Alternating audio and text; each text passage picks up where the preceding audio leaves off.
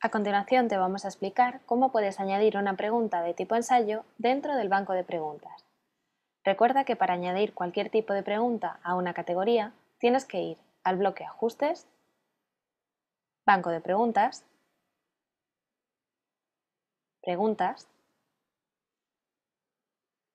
seleccionar la categoría donde quieres añadir la pregunta y por último pulsar en el botón Crear una nueva pregunta.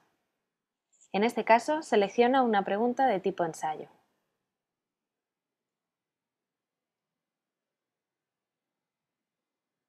En primer lugar, comprueba que está elegida la categoría correcta. A continuación, indica el nombre de la pregunta.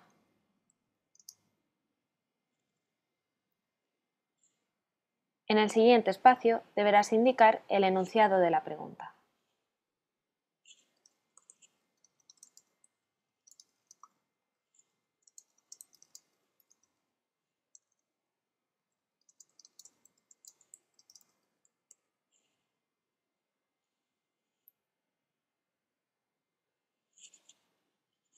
A continuación aparece la puntuación por defecto.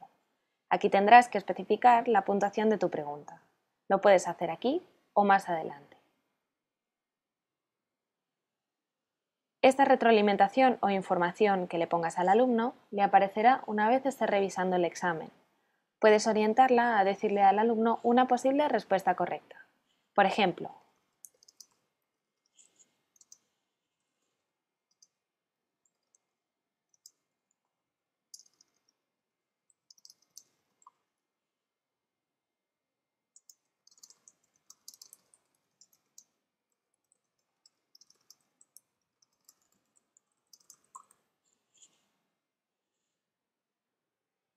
El siguiente campo es el formato de respuesta. Este formato de respuesta facilita al alumno la manera de dar respuesta a la pregunta. Puedes elegir entre las siguientes opciones.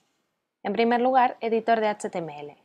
Este es el editor que se sitúa en todas las cajas de texto de Moodle, tal y como ves, por ejemplo, en la caja de texto de aquí abajo. La otra opción es editor de HTML con selector de archivos destinado a que el alumno pueda subir un archivo a esta pregunta y de su explicación en el editor de texto correspondiente. Por último, aparecen los textos sin formato. El alumno podrá escribir sin utilizar un editor de texto de ayuda.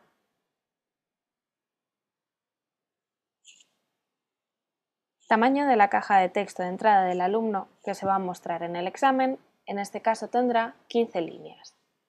Esto no quiere decir que el alumno no pueda escribir más de 15 líneas, sino que la apariencia de la caja de texto tendrá estas 15 líneas.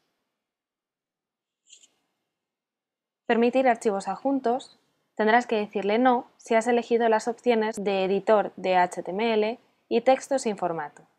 Si has elegido la opción editor HTML con selector de archivos, sí debes especificar el número de archivos que pueden subir los alumnos. En la plantilla de respuesta es un apartado donde le puedes poner al alumno un texto como entradilla. Por ejemplo,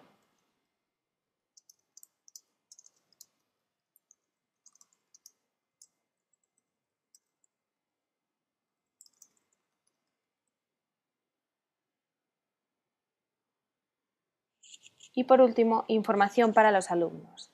Esta información no es necesaria para la pregunta. Por último, guardamos los cambios y de esta manera ya tendrías creada tu pregunta de ensayo. Si quieres ver el resultado de la misma, puedes pulsar en la lupa y ver cómo quedaría tu pregunta dentro del examen. El nombre de la pregunta, el enunciado y la entradilla que les hemos dado.